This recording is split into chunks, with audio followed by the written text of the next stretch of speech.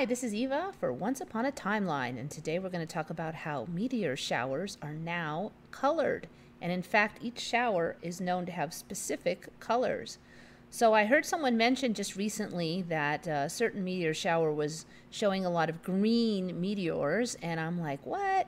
Now, I have heard in recent months that a specific meteor was seen here or there, and it had a color and I was already suspicious of that. I don't really remember uh, big meteors or shooting stars being colored. I thought maybe, well, once in a while. But then when I heard that each meteor shower is known for its own colors, I started to get really suspicious. So I looked into it. So here we go. Why do meteors glow in vibrant colors? Well, I've never heard of them glowing in vibrant colors, but here we go. Okay, now there's going to be some variation in what they say is happening. Each location is kind of contradicting itself. I think I call this one kind of the new school thought uh, mixed with the old school thought on this one. If seen out of the corner of your eye, a meteor may appear to give off a flash of white light. Similar to stars, however, meteors can appear in a variety of colors if viewing conditions are clear or if they are captured in a photograph. So here they're saying that it looks white because uh, maybe you saw it out of the corner of your eye or it wasn't very clear. But if you take a photo, you'll see the color. So this kind of makes it sound plausible. I personally am only have only ever seen white meteors, and I have seen um, the meteor showers quite a few times, and they were always white. So the excuse here is, well, maybe you just saw it out of the corner of your eye. I'm not buying that, but it does sound plausible. But the color of light that the meteors produce depends on their chemical composition. Different chemicals in the meteors produce different colors. For example, meteors made of calcium will give off purple or violet color, while those made of magnesium will appear to be green or teal. There's kind of a chart thing. There are some additional colors that I've seen. Um, green ones can be from copper, for instance, I've seen on some of them. What a meteor is made out of is not only factor that determines the color that it appears, the speed at which the meteor enters the Earth's atmosphere can also affect the color. The faster a meteor moves, the more intense the color may appear, according to American Meteorological Society. Among fainter objects, it seems to be reported that slow meteors are red or orange, while fast meteors frequently have a blue color. The Geminid meteor shower, one of the best meteor showers of the year, is a shower known for producing intensely colored meteors. The Geminids peak in December. The most common colors for this specific meteor shower are yellow, orange, and sometimes green. The Perseid meteor shower, another popular meteor shower, occurs every August, is known for producing shooting stars that give off vivid colors.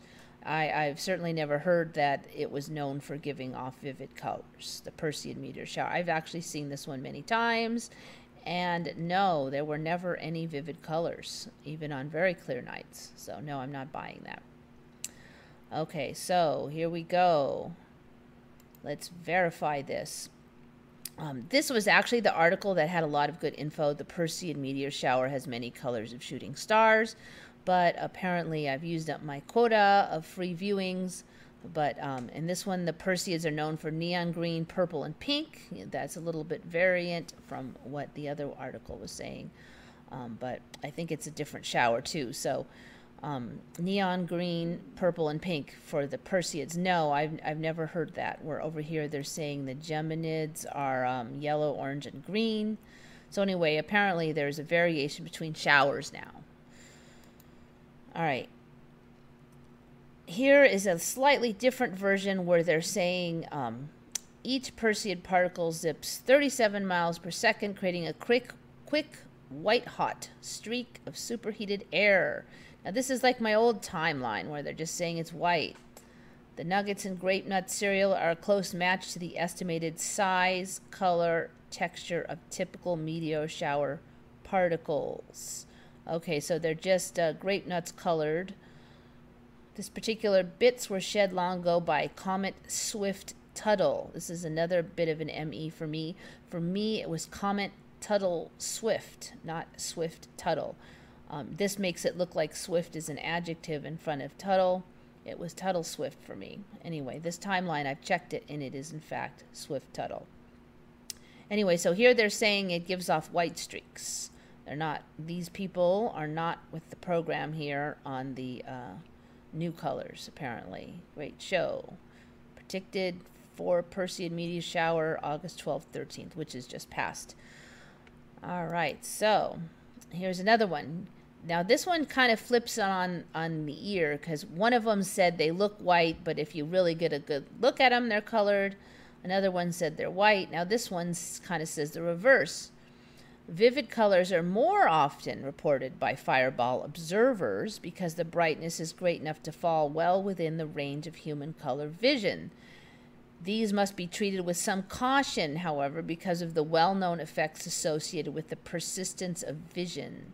So I guess they're saying that it might be after images is why we see colors. Well, I've never seen colors, and I do see a lot of after images, but I do not, because the streaks are so fast uh, that it does not seem nearly long enough to cause um, the the way after images are caused is that you're they say that the eyes become fatigued after seeing the same color for a while and so then when when that color passes you the after image is a sign of the eye fatigue. Well fireballs are so quick i don't see how you would get eye fatigue for that color so it doesn't really make sense to me here about the persistence of vision. Assuming that's what they mean i don't know what else they would be meaning. Okay but basically they're saying here that because of after images or persistence of vision uh, observers are more likely to see colors which is kind of the reverse of what the other two were saying. Reported colors range across the spectrum from red to bright blue and rarely violet. The dominant composition of a meteoroid can play an Im- important part in the observed colors of a fireball. So they're saying meteoroids are just uh, what's out there, and then if they burn up in the atmosphere, they become meteors, and if they land, they're meteorites. So that's what that meteoroid. I haven't heard that term in a long time, uh, to be honest. With certain elements displaying signature colors when vaporized. For example, sodium produces a bright yellow color, nickel shows as green, magnesium as blue white. The velocity of the meteor also plays an important role. I think there was one other for this one. Now, this is also interesting because this is also an ME for me are meteorites glowing hot when they reach the ground? Now, for a really long time, I was always reading and told, and I've seen it many times, that um, it was a common myth that meteorites were hot when they landed. And in fact, they were quite cold, like ice cold. And I always had a little bit of trouble wrapping my mind around that, but they would say that if they just landed, they would be ice cold. So there's been a bit of a sw- switch on this one. The excuse for it is similar, but Probably not. Well, in my old timeline, it was no, not ever. The ablation process, which occurs over the majority of the meteorite's path, is a very efficient heat removal method and was effectively copied for use during early manned space flights. During the, the final freefall portion of their flight, meteorites undergo very little frictional heating and probably reach the ground only slightly above ambient temperature. I find that hard to believe. It seems like friction was always the big deal for reentry and overheating. For the obvious reason, however, exact data on meteorite impact temperatures is rather scarce and prone to hearsay. They, therefore, we are only able to give you an educated guess based upon our current knowledge of these events. Okay, I was always taught that they're cold, cold, cold.